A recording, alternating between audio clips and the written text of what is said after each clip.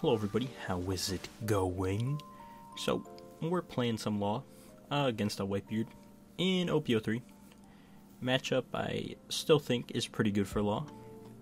Definitely no complaints. My opening hand is kind of the Stones. Um, three Searchers, a Restand Law. We sadly whiff off the Don, but it's okay. I was definitely seething, but we're all good now. We're all good now.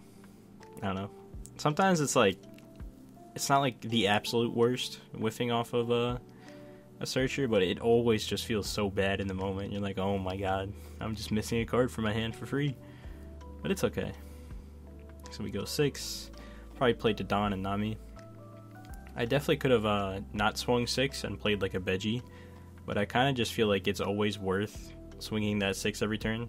Just uh, always getting, just keeping their hand, you know, somewhat limited. Also, we whiff off Nami as well. I, I guarantee I was so tilted there. I was definitely not happy. But um, it's all right. We're looking fine, even though we uh, we're missing out on two more cards in our hand. It's all good, because next turn we'll definitely be able to use our leader effect and uh, that's our reward for whiffing twice. We get a blocker law there, so we're looking, we're looking solid. We're looking solid.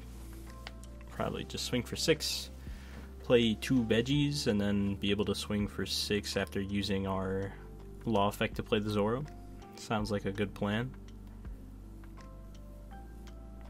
Also, this list is a little bit different than uh, the old one. I put Hawkins to one and I cut uh, X Drake and I put in two Punk Gibsons, and uh, I took out two of the 2K Brooks and put in two of the Film Brooks just to kind of test it.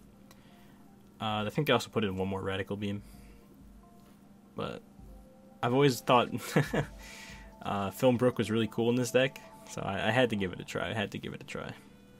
He has a pretty solid ace turn here.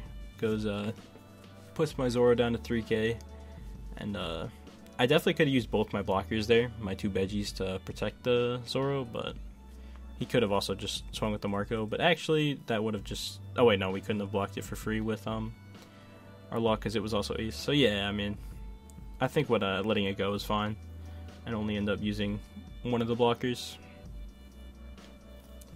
because uh, I'm pretty sure he would have swung with the Marco.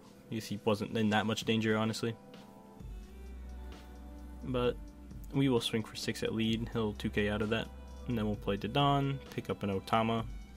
Still got 5 Don to work with. We're probably gonna either play a the Chopper or the Nami. We could, yeah, alternatively, I like this. I like this. We'll play the Otama and then beat up the Ace. uh, definitely could have, um, instead of swinging at lead, done that first. And I think that was definitely the play, but sometimes I, I did have to. I'd have to basically play, have played the Dadan to see that I would find an Otama. Actually, I'm completely lying. I had another one. So if I saw that line a bit sooner, it definitely would have been um a bit better. But he'll immediately block with the Marco, and uh, then he also immediately lets the ace go. So maybe that's telling us he doesn't have a ton of counter. But we'll use leader effect. We'll play restand law, and I- I'm getting aggressive. You know what? I'm swinging. I'm trying to clear that Marco as well. Give me more cards. but yeah, that's definitely something I like see with law that uh, I'll like forget that Otama into beating something up as a line, and then I'll think of it like a little bit late. But here I didn't get punished for it. I definitely think I should have started my turn with Otamaing the ace and then just going five at it with lead. But he'll swing six with his leader, then play Whitebeard. He definitely should have just played Whitebeard first.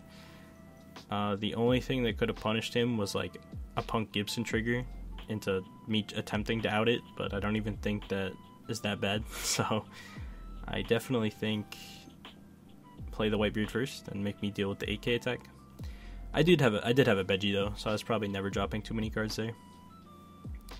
But not a ton to do this turn. We'll just go eight with our leader, eight with our restand law, and uh, we probably want to leave two up for the Punk Gibson, which is super good against Whitebeard and Marco. Just being able to tap down that Mar uh, not Marco, sorry, and Ace, Whitebeard and Ace just being able to tap down that Marco is like super strong. But is this the term where I mess something up? No, it's not. Okay. Oh wait, yes it is. I just uh, my my brain fumbled and just completely forgot he's at 8k. but uh, It's alright. It's alright. It happens. But yeah, we'll leader effect, play the. Take back to Don, play Law, and then bounce into Chopper. And we'll leave two up for Punk Gibson. And I think. Yeah, I'll definitely save that. Just because we have two chump blockers and another Law, so it should be pretty easy to defend both of our Laws here. Especially if he plays another 9 cost, because he won't be able to pop either of my blockers. So we'll go 10 at my blocker law. I'll probably just trade the chopper or the Bege, either one. I think I'm thinking about punk Gibsoning. That's a funny phrase uh, to tap the Marco, but I don't end up doing it because he's already kind of low cards in hand. And honestly, I'm probably not killing him this turn, so we'll take. Uh, we'll leave the Marco for now. And uh, here, I had like Otama in my head. I'm like, if I minus two to his ten, his nine drop, it's like the same number as hitting his leader. But in this case, I kind of get rewarded by you know outing a 10k body. So that's what I end up doing. I think uh, I think it was a good call. Just uh, alleviates a little bit of pressure on us. So we'll go eight with our blocker law, eight with our restand law, and we have another restand law. So we're really gonna again beat this Whitebeard up. I'm uh, not going to save two for the Punk Gibson, just because I want to try to out this or put him on zero cards. Either one is cool with me.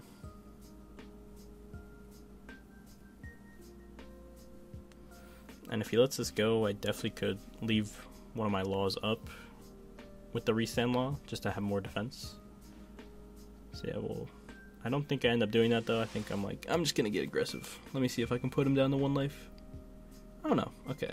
I do restand my blocker law, and we play it safe, which I like too. E- either one, I think I was fine with. Well, it'll go 12 at my restand law, popping the Bege. We're probably just letting it go. I think I'm okay with taking my one more life, or honestly both my life this turn, just because I'm definitely going for game, because he does not have enough cards to really defend. This would have been a, a pretty nice turn to leave two up for the Punk Gibson but I really wanted to out the the nine drop, so we kind of committed. But we'll go seven. Oh, here, sorry, he'll go seven. We'll uh, block with our law and counter out, and I'll play another Marco. So maybe we're a bit delayed in going for game here. We'll see. Because uh, he could have a lot of events. Player Nami. I almost missed the chopper. Thankfully, I didn't. But we can definitely survive another turn with a Punk Gibson and a beam in hand. But we'll go one Don on our restand long. Sorry, Don. Forgot again. Uh, he's leader 6k, so he'll guard point out of it. Go one Don on leader, swing for six.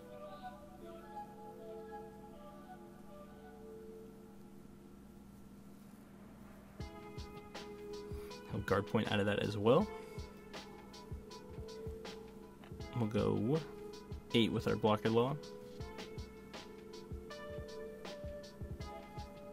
Guard point out of that, so he was not bluffing at all. He did have 3 events, so we don't end up being able to kill him here. So, but it pretty much means he has to go for game next turn.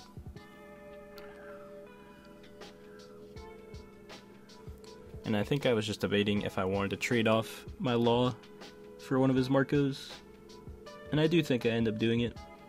Just because I'm, I'm very confident that I'll live with uh, our Punk Gibson and our Radical Beam. And uh, he actually concedes there. Well, thanks for watching, guys.